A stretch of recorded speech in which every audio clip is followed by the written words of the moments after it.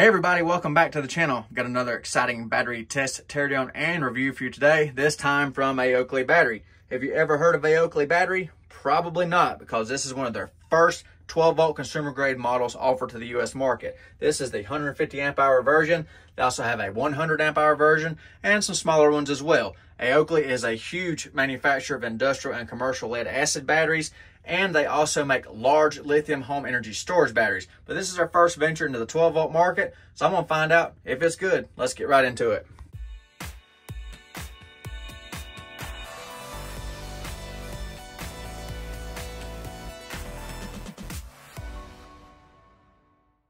Time for the capacity check on the Aokly 150 amp hour lithium iron phosphate battery use my Timeusb charger, charge it to full. You can see a little green LED there is on. So I'll disconnect that and get you a voltage check on the terminals before I hook it to the capacity rig.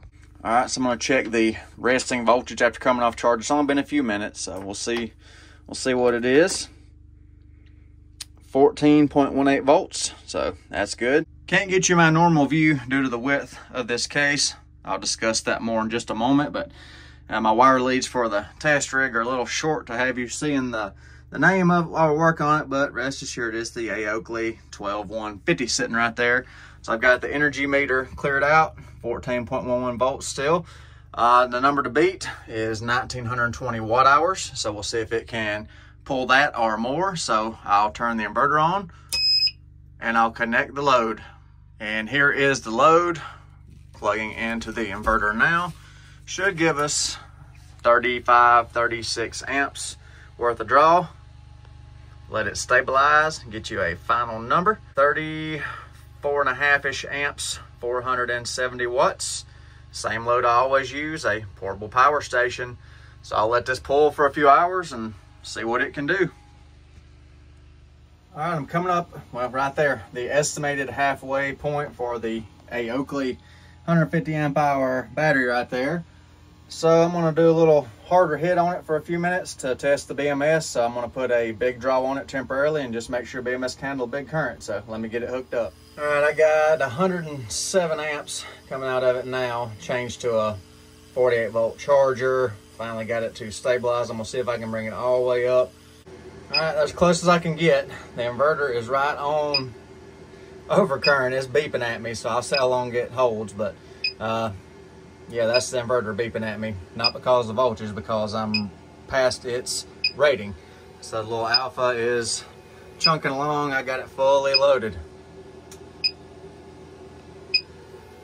Well, the T-Tokus breaker works as designed. 45 seconds at 150 amps right at the trip curve on that breaker and it popped. So everything shut down. So cannot sustain that load long enough to test the BMS because the supporting hardware is not there. So I'll go back to the regular pull and just see what capacity we have on the Aokly. But uh, that's good to see right there. That was, that was quicker than I thought. All right, back up and running. So uh, it saved my, my data for the Aokly. So I'm just gonna let it pull right here and uh, see what it does. Voltage is starting to click off pretty fast on the Aokly. 1892 watt hours out of a possible 1920. I don't know if we're going to make it. I don't know. All right, 10.62 and dropping fast, 1901 watt hours. I don't think we're going to make capacity. All right, the inverter just shut off with the A. Battery connected. We ended up with 1905 watt hours of real world capacity through the alpha inverter. All right, so the final tally was 1905 watt hours out of the Aokly battery. It's rated at 1920 watt hours. That's how it's advertised. So we divide those out, we end up with 99.2% of rated capacity. Uh, 0.8 of a percent off of its mark uh, was the big, huge rip. You know, did I lose some in heat? Possibly. That's close enough. I'll call that a pass. Well, that's a shame that it came up a little slack on its capacity. Uh, you know, close enough. I'll continue on. I'm going to tear this thing apart, make sure everything's balanced inside and all that. But let me talk about the size of this battery first and give you a couple of specs before I do the teardown. Now, the first thing you may notice about this battery, it's got a oddball, you know, odd case size. That's the first thing I noticed too. The case is kind of kind of a different size of what I'm used to seeing, you know, especially on a 150 amp hour battery. You know, now we got a bunch of compact batteries and things nowadays, so I'm used to seeing a little bit smaller cases. But, you know, don't knock it just cause of the case size. So we are 19 inches long and nine and a half inches tall. And let me get you the width on it because it's a skinny case. You'd think it's more like a 4D, but it's not. You know, it's a good bit narrower than the, the big 200 amp hour cases. So let me get you a, a good width right here to see. So we're right at six and three quarters wide. Well, more like six and 11 sixteenths, but close enough. Battery does have inset terminals and it's got multi-position mounting. So you don't have to have it sitting like this. You can have this battery mounting in any position as long as the terminals aren't upside down. So this would be the non-approved installation like that. That's not approved. That's the no-no. You don't put it like that, but any other position is perfectly fine. Go over a couple of quick things and I'll get on with it the manual it comes with just a basic little manual uh, basically don't charge below freezing you can use it in you know 4s configuration for 51.2 volt pack or 4 parallel um, you know pretty simple little basic manual nothing too exciting here i'm not expecting low temp charge protection because it says right in the manual to charge at 34 F and above. Expecting it to be more just a basic style energy storage lithium iron phosphate battery, but let's find out. Now time for the teardown portion for the Oakley battery. So you can see it's still intact right there, but won't be for long. I'll be right back with you after I get the lid off. We'll see how this thing is built. Oh yes, I absolutely love when they're epoxy together. That makes for a very difficult extraction, if you will. But yes, this one was epoxied all the way around. Save the last little bit right here so we can look at it same time together as always. So hopefully I don't snap the lid off after trying to be so careful with it. So, uh, yeah, you can hear all that epoxy and plastic cracking. Hold on, let me uh, let me work on it just another second. It just needed a little bit more persuasion. So, so look at those large wires in this battery right off the bat. I always like seeing large leads go into the terminals on the battery. So let me, uh, let me see what size these are. I'll get you a good shot of that here in a second or zoom in if I can. It's very faint marking right there, six two sixes, uh, 200 degree jacketed silicone leads on the positive and same on the negative, two number sixes. So fairly large wires for a 150 amp hour lithium iron phosphate battery.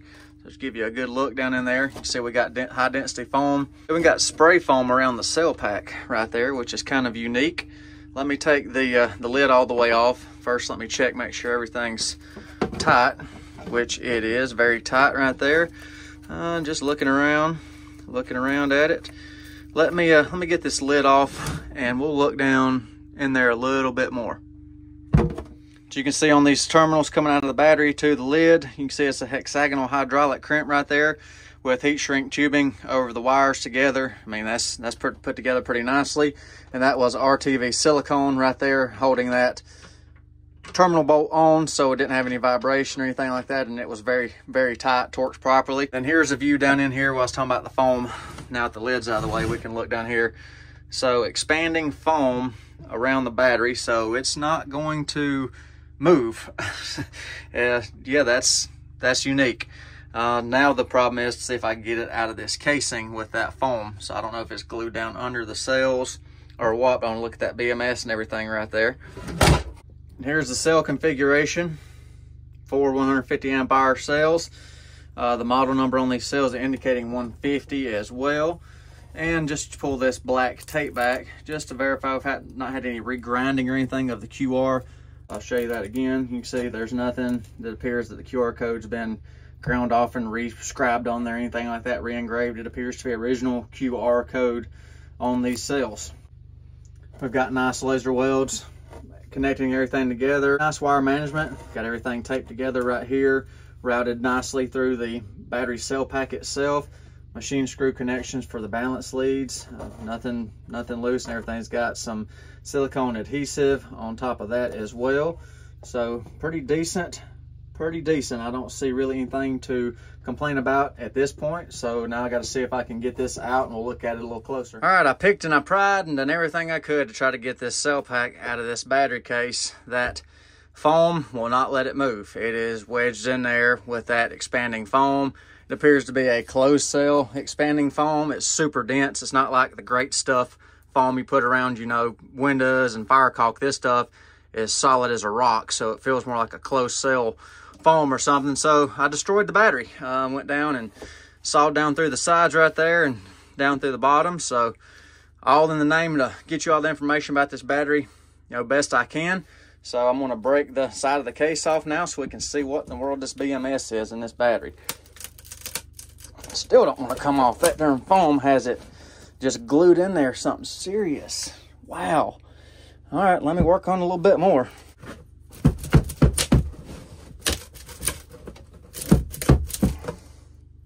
Of course, the side of the case flew off right before I hit go on the camera, but all that to access this BMS. Uh, hopefully you can see all that foam down there. Look at that. They threw the foam to this thing. There's no way that was coming out of there. And there's the BMS. According to their literature, it's 150 amp BMS. It looked like a JBD from the top, but I wanted to see down the side. I don't see a JBD data tag. Uh, so it's a JBD styled BMS and looks like it has no uh, sensors, no probes or anything remote from the BMS. There appears to be a thermal switch on the BMS right there. So for all I can tell at this moment, the only protection this battery has is high temperature protection on the BMS. So if the cells get hot or the BMS, that thermal switch right there should take it out. Uh, let me look a little bit further just to make sure I'm not missing anything on this battery. So there's all the tape cut out of the way. I said this JBD style with heat sinks, but no data tag that I can see. And it's not coming out of that foam right there. So, uh, you know, I guess you'd have to pry everything out and break all the foam off the battery if you ever had to service it or work on it or anything like that. Um, yeah, I'm not seeing any data on there. There's just the balance leads. There's no, uh, yeah, no no probes, no thermal switches, remote of the BMS, 100% sure. I just wanted to look in there and make sure. So the only protection we have would be that thermal. And here's a view of the switch right there. You can see the thermal switch right there. And that's like a standard 60C to 70C switch. Uh, don't know what it is because it's pinched in there. I don't want to risk damaging the BMS trying to pry that out, but that's pretty much industry standard, either a 60 or 70 degree C switch right there. So that's our all our protections on it. So no low temp test needed on this one. So, you know, just a basic uh, BMS right there. Which Oakley does say only charge this battery from 34 degrees Fahrenheit. Uh, so, you know, they don't indicate any low temp. I wasn't surprised to, you know, to not find it. But it's nice to get surprised and find it sometimes what better than being advertised as and missing. And there's that uh, notorious foam right there. Look, Look at that stuff. It's, it's just super, super dense. It doesn't compress or anything like that. So, you know, there's that. Got foam through all these ribs right here on this BMS. There was no way to get that out, but I don't see any defects. You know, in the battery itself, none of the cells are swollen or bulging or anything like that. It's got, you know, foam spacing between the cell group. Uh, you know, it's a little closer on the back side here, but, you know, it's still got a good quarter 3 8 inch clearance on the case right there. So if you took a impact from the side, which you know there's foam down in there too. I don't know if you can see it, but you know it's uh, it's a it's a foam factory. But uh, you know, I hope you enjoyed seeing this. Please hit that like button if you don't mind, since uh, you know kind of done all this so you can see it. I'd really appreciate that. I'm gonna give you a close up of this QR code right here.